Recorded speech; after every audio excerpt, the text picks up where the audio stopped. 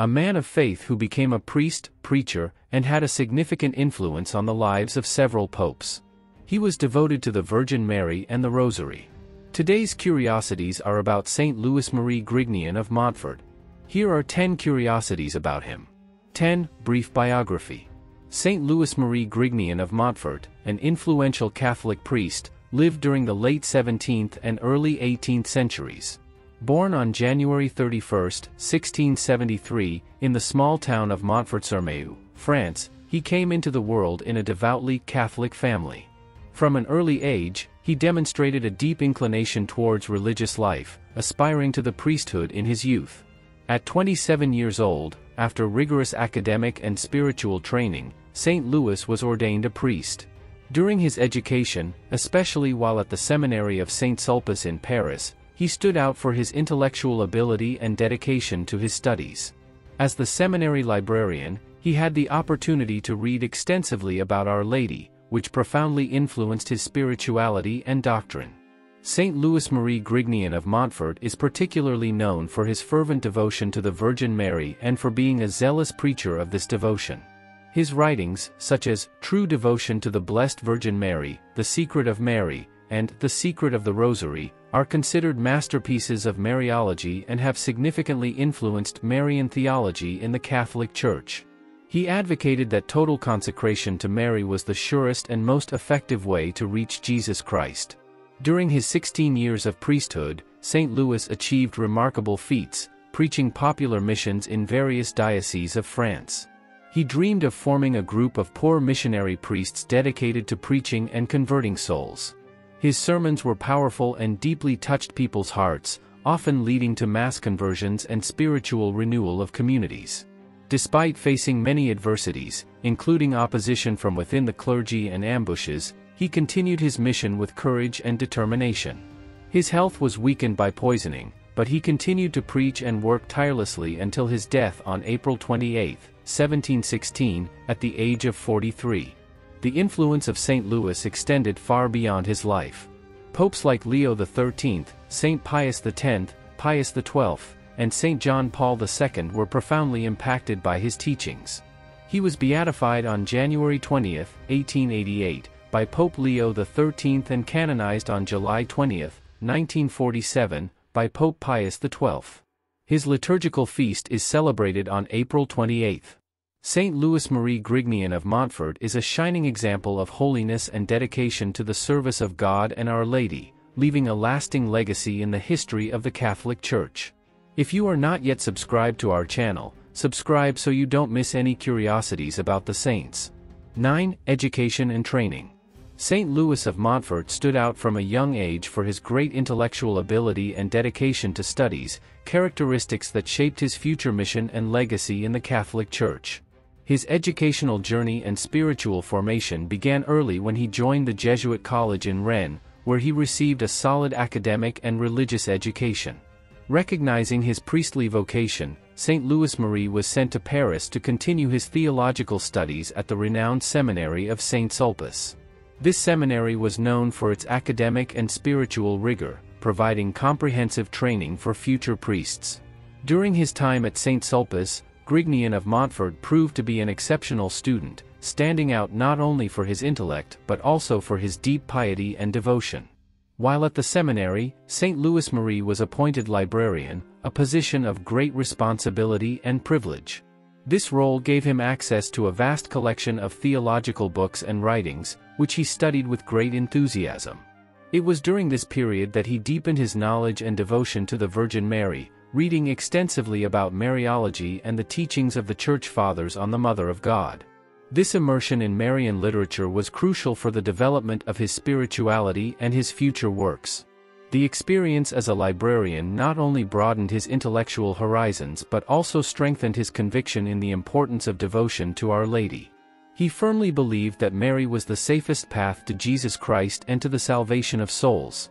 This conviction was the foundation of his most influential writings, such as True Devotion to the Blessed Virgin Mary and The Secret of Mary, which continue to be important references in Catholic spirituality.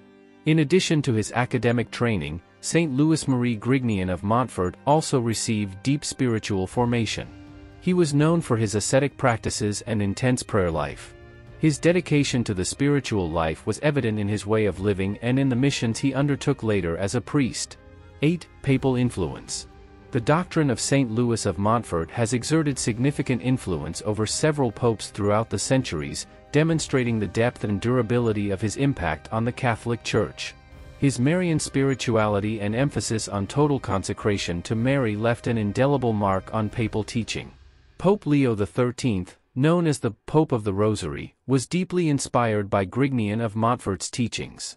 Leo XIII wrote several encyclicals on the Rosary, such as Supremi Apostolatus Officio, 1883, and Laetitia Sancti, 1893, in which he exhorted the faithful to practice Marian devotion and the recitation of the Rosary, a central practice in Montfort's spirituality.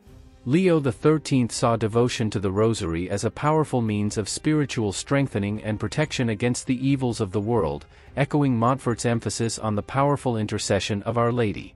Saint Pius X, one of the most Marian devout popes, was also deeply influenced by Grignion of Montfort's spirituality. He approved and encouraged the practice of total consecration to Mary, as taught by Montfort, recognizing its importance for the spiritual life of the faithful. Pius X even granted indulgences to those who practiced this consecration, demonstrating his support and official validation of Montfort's teachings. Pope Pius XII, in his encyclical Fulgens Corona, 1953, on the occasion of the Marian year, referred to the importance of Marian devotion in Christian life. Although he did not directly cite Grignion of Montfort, the influence of his Marian spirituality is perceptible in Pius XII's reflections on the central role of Mary in salvation and in the life of the faithful. Pius XII also canonized Saint Louis Marie Grignion of Montfort in 1947, officially recognizing his holiness and the relevance of his teachings for the Church. Grignion of Montfort's influence reached its peak with Pope St. John Paul II, whose Marian devotion was central to his pontificate. John Paul II adopted the motto Totus Tuus, all yours, directly inspired by Montfort's consecration formula, reflected in his true devotion to the Blessed Virgin Mary. The Polish Pope frequently cited Grignion of Montfort in his writings and speeches and believed that total consecration to Mary was a safe and effective way to reach Jesus. In his encyclical Redemptoris Mater, 1987, John Paul II highlighted the importance of Marian devotion, reflecting the enduring influence of Montfort in his personal spirituality and papal teaching. Leave your prayer request in the comments, so that St. Louis of Montfort may intercede for it before God. 7. Devoted to Our Lady. St. Louis of Montfort is widely recognized for his intense devotion to Our Lady, the Virgin Mary, a central aspect of his spirituality and ministry. His dedication to the Mother of God not only shaped his personal life and writings but also profoundly influenced the spirituality of many faithful, including popes like St. John Paul II. True devotion to the Blessed Virgin Mary is Grignion of Montfort's best-known work and one of the most important texts on Marian spirituality in the Catholic Church. In this treatise, Montfort outlines the practice of total consecration to Jesus through Mary, presenting a form of devotion that involves complete self-surrender to the Virgin Mary as a means of uniting more deeply with Jesus Christ. Montfort describes this consecration as an easy, short, perfect, and secure way to arrive at union with our Lord. He argues that by totally giving oneself to Mary, the faithful are more perfectly conformed to the will of God, since Mary, in her perfection and holiness, leads safely and effectively to Christ. Marian devotion according to Grignion of Montfort is characterized by several fundamental principles. Complete and unconditional surrender to Mary, including all actions, prayers, sufferings, and merits, for her to use according to the divine will. Recognizing Mary as the mediatrix of all graces and fully trusting in her intercession. Striving to imitate Mary's virtues, especially her humility, purity, and love of God. Maintaining an active spiritual life centered on prayer, especially the Rosary, and frequent reception of the sacraments, with a special devotion to the Blessed Sacrament of the Eucharist. 6. Missions in France. St. Louis of Montfort, initially planning to be a missionary abroad, ended up dedicating his life to missionary work in his homeland, France.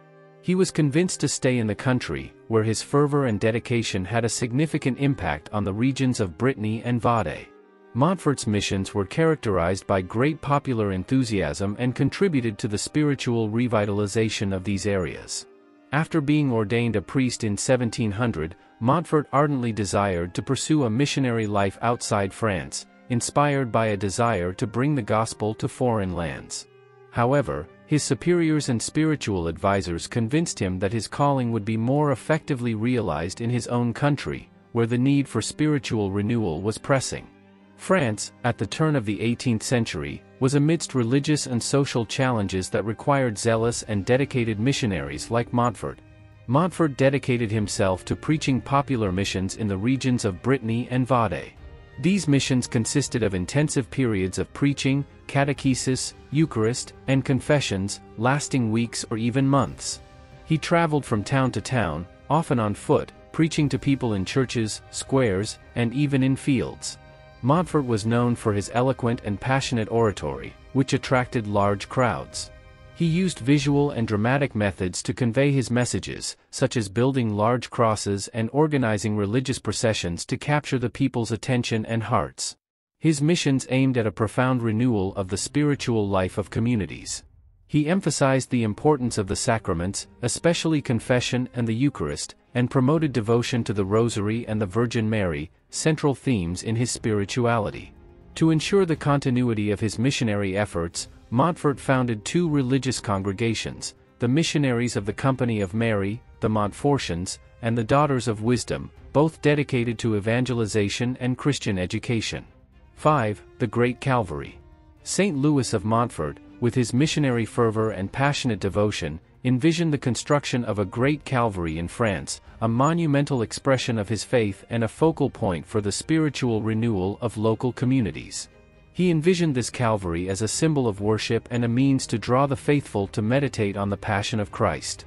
To realize this ambitious project, Montfort enlisted the help of local workers who shared his enthusiasm and devotion. The undertaking began to take shape, uniting the community around a common spiritual purpose. The construction of the Calvary was not just a physical work but also an act of faith, involving sacrifice and dedication from all involved. However, the construction of the Great Calvary faced serious difficulties. The Jansenists, an influential group that upheld a rigorous theology often conflicting with the Catholic orthodoxy defended by Montfort, saw him as a threat to their teachings and influence. They decided to slander him, making accusations and spreading rumors that tarnished his reputation and the public perception of his work. The slanders of the Jansenists reached the ears of the authorities, culminating in the intervention of the king. The project, which had progressed with much effort and dedication, was abruptly halted. The royal order to cease the construction of the Calvary was a severe blow to Montfort and all those who had invested time, faith, and resources in realizing this spiritual dream. Despite the significant setback, Montfort did not let himself be discouraged. His resilience and unwavering faith kept him firm in his mission of evangelization and Marian devotion. He continued to preach, write, and inspire others to follow the path of true devotion to Our Lady, leaving a legacy that overcame the difficulties and adversities of his time. 4. Efficacy in preaching. St. Louis of Montfort was known for his efficacy in preaching, a skill that resulted in numerous mass conversions throughout his life. His missionary zeal and his ability to touch the hearts of his listeners were remarkable. Montfort could convey the truths of the gospel with a clarity and fervor that left a lasting impression on all who heard him. A striking example of the effectiveness of his preaching occurred when he had the opportunity to preach to an army. Faced with soldiers accustomed to the harshness and brutality of war, Montfort spoke with such deep conviction that he managed to penetrate the emotional and spiritual barriers of the military. His speech, full of passion and sincerity, addressed themes of repentance and penance, evoking divine mercy and the need for reconciliation with God. The result was extraordinary. Touched by Montfort's message, the troops responded with genuine repentance, many confessing and adopting practices of public penance. This episode is a powerful testimony to the impact he had as a preacher, capable of transforming hearts even in seemingly insensitive circumstances. Montfort's preaching was not limited to theoretical or superficial sermons. He sought authentic and lasting conversion, encouraging people to live a life of true devotion and commitment to the Christian faith.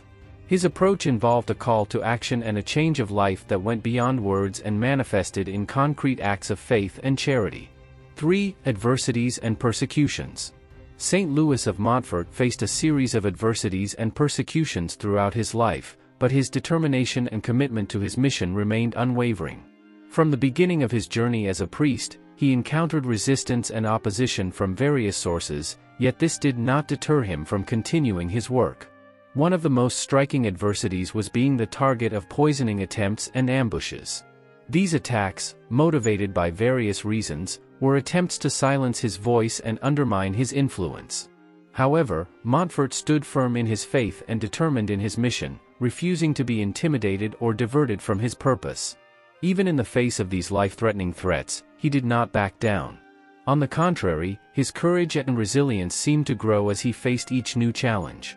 Montfort was fully aware of the risks he faced, but his trust in God and his devotion to Our Lady gave him the strength to keep moving forward, regardless of the adverse circumstances. 2. Impact on the French Revolution. The work of St. Louis of Montfort in the Vendée region had a profound and lasting impact that reverberated even after his death, especially during one of the most tumultuous periods in French history, the French Revolution. His spiritual and pastoral influence left such a significant legacy of faith that it greatly contributed to the fervent resistance of this region against revolutionary changes. The Vendée region, known for its strong Catholic devotion, tenaciously resisted the revolutionary ideas that sought to abolish religion and institute a new political regime.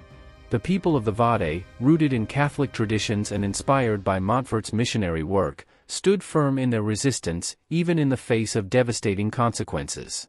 The deeply rooted faith in the Vendée community, nurtured by Montfort's preaching and example, became a bastion against revolutionary ideals that sought to undermine traditional and religious values. This religious fervor and sense of Catholic identity were crucial elements in the Vendée's determination to resist the French Revolution. The Vendée's resistance to the French Revolution was not without cost the region witnessed great bloodshed and suffered terrible reprisals from revolutionary forces. 1. Spiritual Legacy The spiritual legacy of Saint Louis Marie Grignion of Montfort is deeply marked by his devotion and teachings on total consecration to the Virgin Mary.